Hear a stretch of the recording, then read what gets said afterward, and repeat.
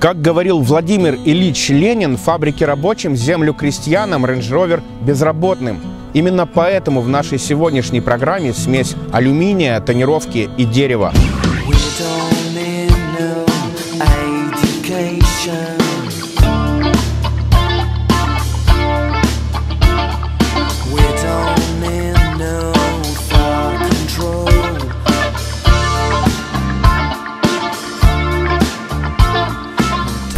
название этого зверька звучит так Land Rover Range Rover Vogue. И когда-то он стоил довольно внушительных денег, а именно 110 тысяч американских рублев. Автомобиль для серьезных ребят, включая министров, депутатов и просто успешных товарищей. Однако сегодня такую машину можно легко приобрести дешевле, нежели новый Renault Logan. И это не безумие, дорогие друзья. Третье поколение, 322 кузов, 2006 год от Рождества Христова. Этой машине почти 15 лет, но она по-прежнему в охренительном состоянии. Конечно, опытные пользователи интернета скажут, что любой рендж это полное говнище, очень ненадежное ведро, содержание которого стоит безумных денег. Но правда заключается в другом. Именно этот кузов, именно с этим мотором и коробкой, это разумно, это не очень дорого в обслуге и как бы смешно не звучало, это надежно и ремонтопригодно. Найди автомобиль в хорошем состоянии, соблюдай регламент и используй хорошее масло и катай на нем еще долгие-долгие лета. Это поколение делали с 2002 по 2012 год, и, наверное, сложно найти машину, которая была бы столь же противоречива. Многие люди уже давно путают реальный мир с миром виртуальным. Виртуальный мир YouTube напрочь исказил всю суть подобных автомобилей. Впрочем, он исказил много чего еще, ведь чтобы хайпануть, некоторые блогеры находят убитые кривые рынжи с пробегом по миллиону, рожая мифы и иллюзии без всякой объективной информации. И отчасти это замечательно, поскольку именно штампы и заблуждения влияют на то, что в 2019 году эту роскошную тачку в отличном состоянии можно купить всего за 660 к. 300 тысяч пробега, и, судя по всему, умирать он пока не планирует. Но для начала немного теории. Range Rover – это по большому счету бренд внутри бренда. В 60-х годах англичане решили выйти на американский рынок с более комфортабельной версией Land Rover. Вместо рессор – пружины, дисковые тормоза и постоянный полный привод. Тема пошла, причем не только в Штатах. И в 2004 году выходит второе поколение. Отличная была машина, а спустя еще 8 лет третье поколение. Что характерно, на тот момент, в 2002 году, компания Land Rover принадлежала компании BMW, и баварские ребята изрядно поглумились над ренжами. Интересно, что по этому поводу скажут жители графства Сурей?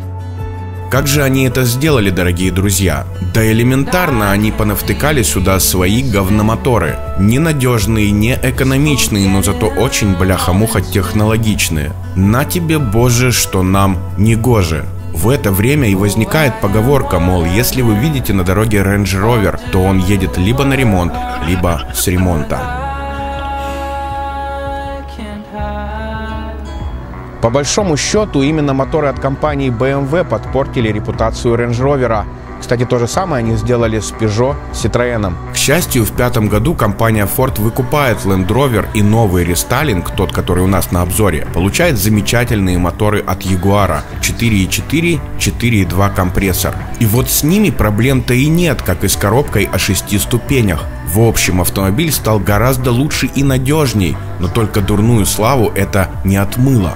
А в 2008 бренд выкупили вообще непонятно кто, но это были индусы, бывшая колония Великобритании. Если вы не являетесь подданным Ее Величества, то не нужно покупать дизельные ренджи, а также ренджи с моторами от BMW. Хотя, например, фордовский дизельный TDV-8 при условии использования хорошего топлива тоже бегает, дай бог. Однако на Святой Руси далеко не везде и далеко не всегда можно добыть хорошее топливо, а это печально. Другое дело двигатель от компании Jaguar V8 на 4,4 литра, 306 лошадиных сил, крутящий момент 440 ньютонов на метр. И речь идет исключительно про атмосферный мотор. Дальше чисто мое предположение, почему еще всякий Range Rover считают ненадежным. Среди семи разных двигателей, которые втыкали на третье поколение, три двигателя имели одинаковый объем 4,4 литра. Первый Double Vanos M62 очень ненадежный, второй очень надежный и третий турбодизель. Но все говорили, вот 4.4 плохой двигатель, имея в виду исключительно мотор от BMW. То есть две других установки просто попали под раздачу. И это особенно несправедливо по отношению к мотору от JV8. Ягуаровский компрессорный движок 4.2 поедет гораздо быстрее, а вот двигатель от компании BMW, скорее всего, в наше время уже никуда не поедет. А давайте еще добавим масло в огонь. Есть Range Rover Vogue,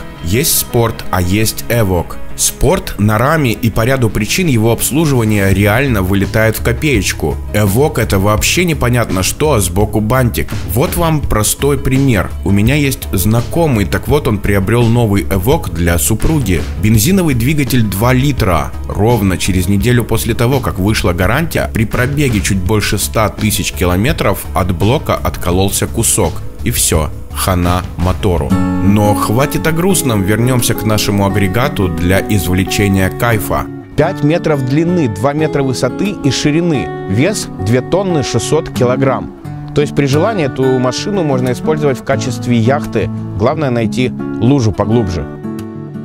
Автомобиль имеет интегрированную раму и массивные подрамники. В отличие от спорта, тут не надо домкратить кузов при любом ремонте. Хотя, чтобы, например, поменять свечи, нужно разобрать пол морды под лобовым стеклом. Раз в год желательно калибровать пневму и чистить баллоны. В этом случае с подвеской проблем не будет. Замечу, что на скорости выше 100 км в час кузов автоматически опускается.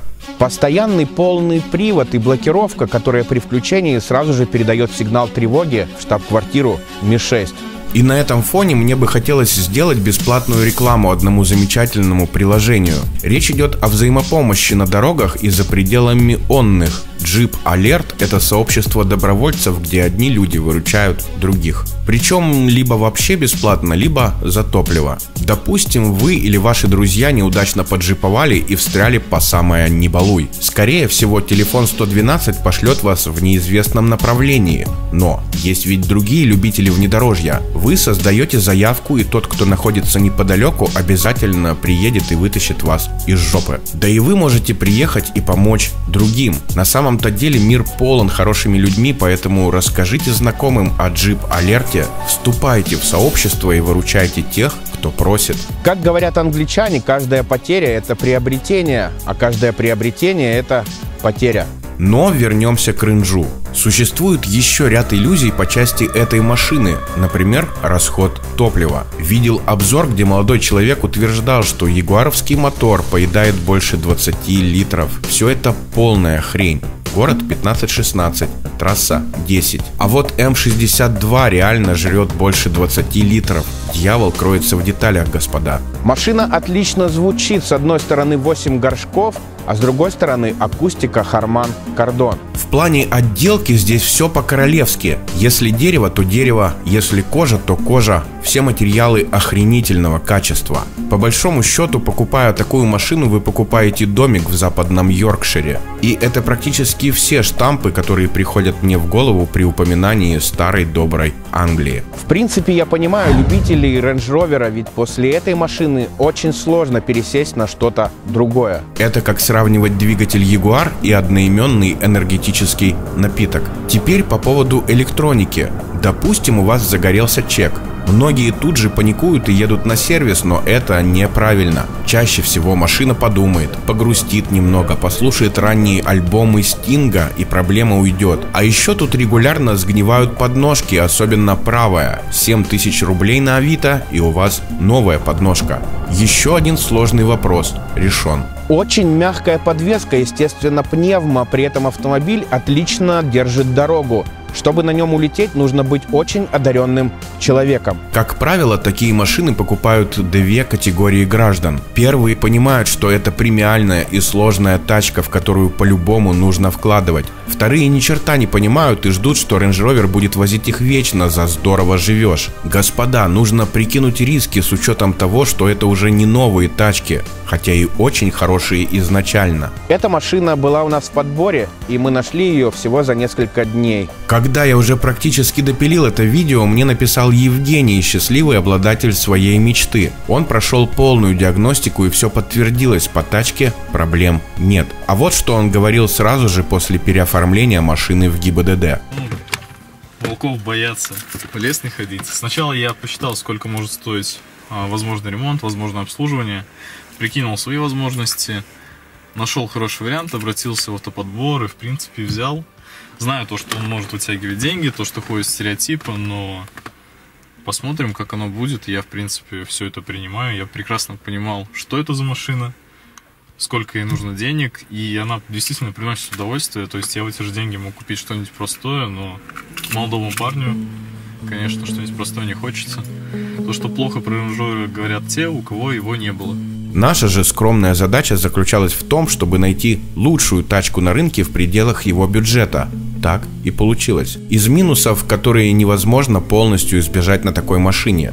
Не работает обогрев руля и один из датчиков парктроника. Косметический окрас крышки багажника 200 микрон, тоже и по задним крыльям. Все остальное в родне. А еще эти машины практически не угоняют. А еще эти машины по-прежнему уважают. А еще они большие, безопасные и очень душевные. Все зависит именно от конкретного автомобиля. Хотите его купить? Очень хорошо все обдумайте. Найдите аппарат, который не убивали все эти годы, у которого один или два хозяина. Взрослых, нормальных людей. Проверьте хорошенько автомобиль перед тем, как его брать. Например, в нашем случае оказалось, что мотор до сих пор не поедает масло и уровень держит от замены до замены.